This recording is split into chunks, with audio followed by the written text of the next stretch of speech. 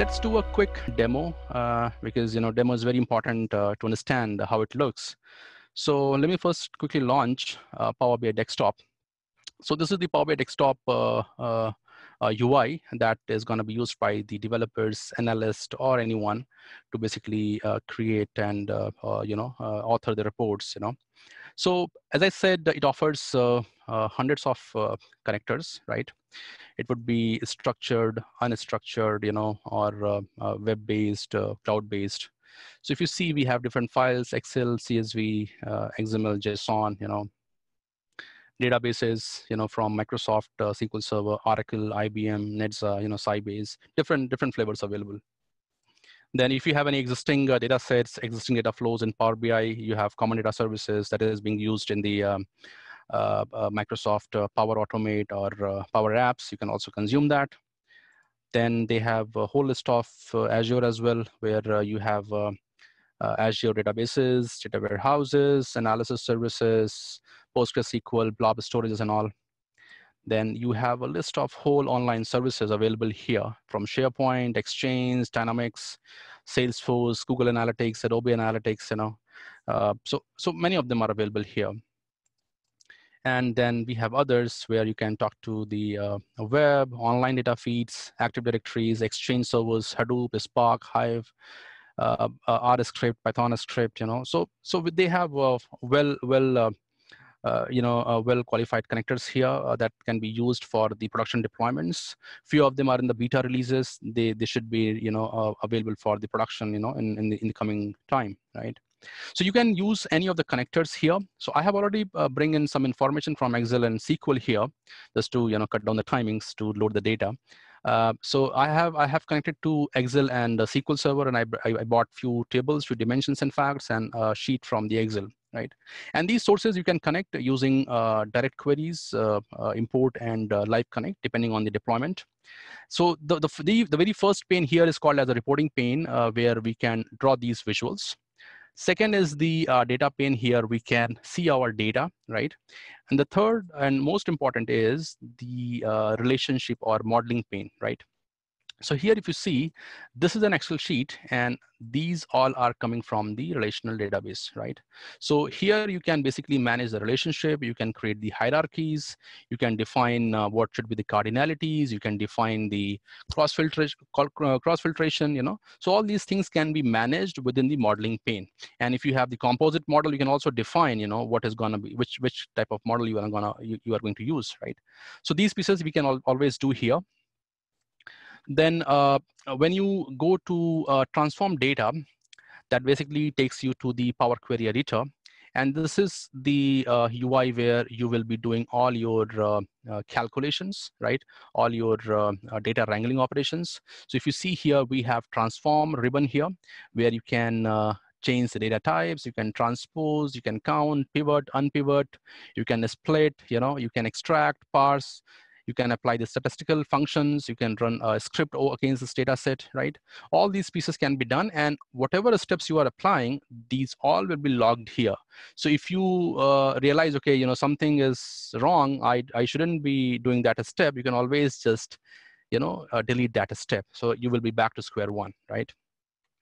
So all these pieces can be done either using this uh, ribbon options here or there is an option called advanced editor. Uh, so here you can use uh, M code uh, that is called as a mashup code. That is the language supported by Power Query, you know. So if you don't want to go with the ribbon, you are good at this coding piece, you can always uh, use this. For example, if you see here, the very first thing I did is was source, right? So here it shows me source equals to excel.workbook, file.contents, the location and the file name, right? So every single operation that you will be doing here in the Power Query editor every single statement will be logged here, right? Then once you're done with your changes, you can always uh, come here and I'll say close and apply. So whatever changes you made, they all will be applied, right? So let's let's draw some uh, quick uh, quick uh, you know visuals here. For example, let's suppose I want to analyze what is my sales based on the product, right? So the moment you say, it will automatically picks up what could be the right visual for it, right? So you can choose that okay then uh, uh, I was talking about some AI infused uh, analysis, right? For example, if I say decomposition tree, right?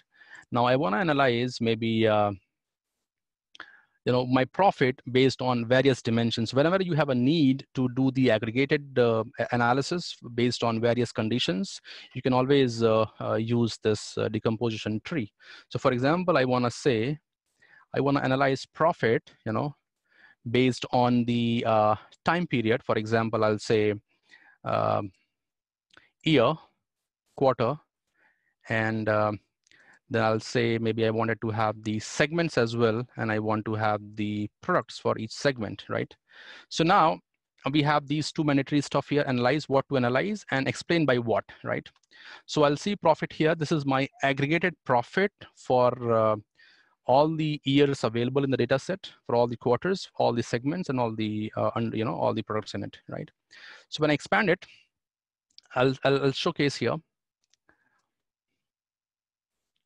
So now it shows me uh, information based on the year, right? So for 2013, I have got this much of profit. For 14, this much of profit, right? When we say go further for the quarter, it shows me that.